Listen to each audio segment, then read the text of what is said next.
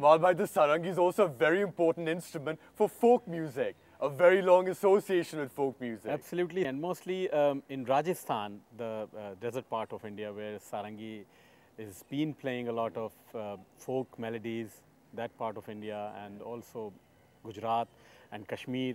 But I'll just uh, play a folk, very famous folk melody from Rajasthan, which is Maand. That would be wonderful. Yeah.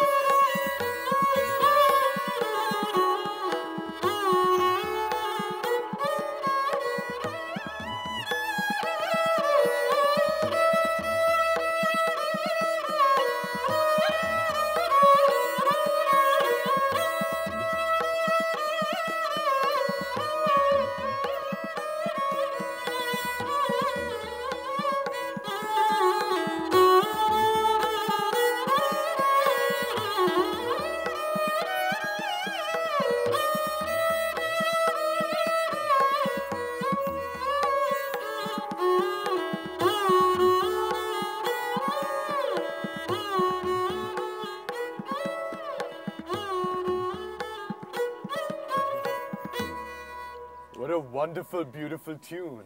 It is very old and traditional tune from Rajasthan.